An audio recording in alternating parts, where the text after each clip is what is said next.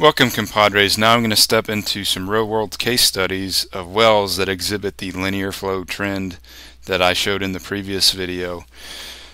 You can see here um, we have our linear flow region and then we basically forecast using B boundary dominated. This well, this data exhibits that, uh, fits that mathematical model and there's several cases that do and I just want to demonstrate that through this video to kind of emphasize that you know this is a real world application. And some wells produce at greater rates than others so we got to adjust the scale but you can see that distinct trend. We have kind of a linear region that we fit to and then we forecast with standard ARPS equations. And um, so I'm just going to step through several of these uh, just to emphasize that you know this is applicable to the real world we see the same trend.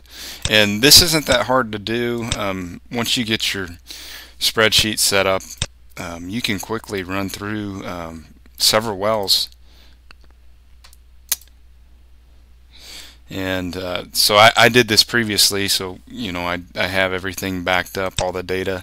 So um, you know this is something that I'm not doing in the spur of the moment, right?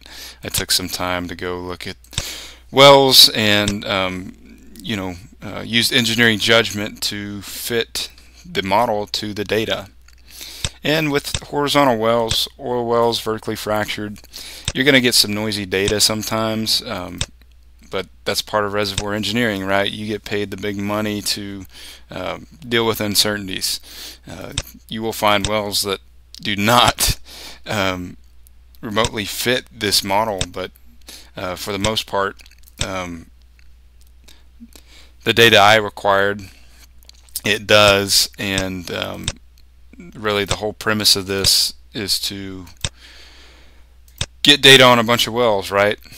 And then um, basically get a data set of important parameters that you can apply to other wells that um, you don't have variables for. And that's kind of where we're headed with this. We're going to go through um, you know use data use the parameters obtained from fitting this model to the data use that and uh, get a basically a, a data set of parameters and then fit distributions to that and uh, then use that those distributions which are mathematically modeled using um, basically we're going to use normal log normal uniform distribution we're, we're just going to step through the entire process. Use that those mathematical model of that data and then go make an interpretation of um, other wells that we don't have all the uh, data for. And um, so that's kind of where we're headed. But in the meantime you can see we're just uh, this was the first step was to go out and model the wells the data that we have fit the model to it and uh, get the data we need but yeah that's that's the trend and um, that's where we're headed uh, so I hope you enjoyed the video and actually I think what we're gonna do is kind of just step through the code briefly. This is the same code I used from the natural gas series. Essentially, that's we, we hadn't changed anything. We just have a little bit noisier data with oil. Um, and uh, I'll kind of show you how that works um, kind of on a surface level. Let's go ahead and step into the code. So essentially this is the code we use to mathematically model the data from the well. So we use this code essentially, um, we created it and then we used the sum of least squares or an optimization parameter to, to fit to the data. So the parameters that go into this function, I call it infinite acting linear to boundary dominated decline oil is going to be your slope, your intercept, and then your cumulative production to the end of linear flow be boundary dominated and then cumulative production so this is the data point and this was driven if you remember um, it was essentially driven we applied this function right here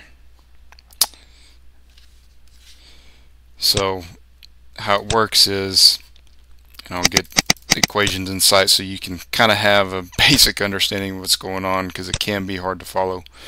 Um, essentially what we're doing is we're basically creating two piecewise functions. We're creating our linear flow straight line region defined by this equation right here and then we're going to use our ARPS equation in the next piecewise function to calculate a reciprocal rate.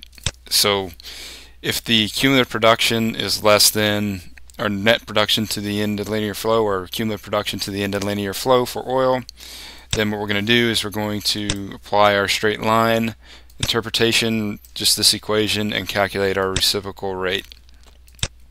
And then what we actually do then is because we want to compare it to the data that we're given in rate, we just take the inverse of that and we get a rate. And you can see here um, that's exactly what it returns in this column. It returns a rate.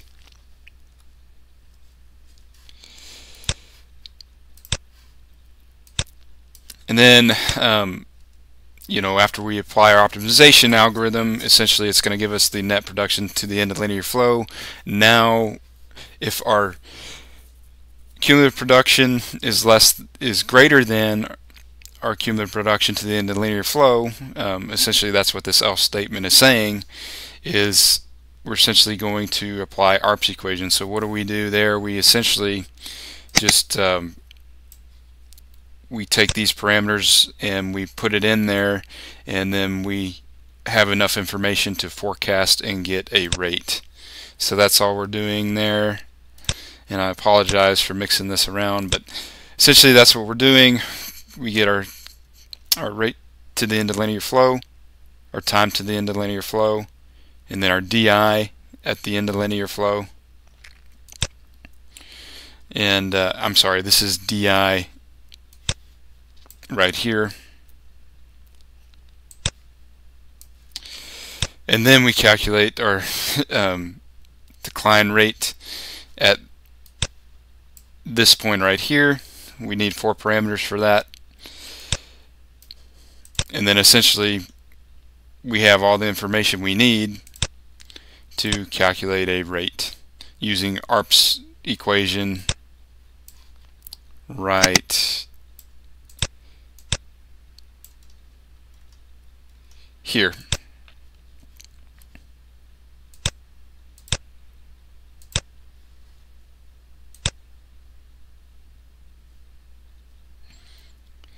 Uh, but obviously it's rearranged um, to calculate rate essentially what it is okay and um, so that's essentially how the code works and I've covered this code before in a previous video um, but you can see these are our functions that we call to calculate the nominal decline.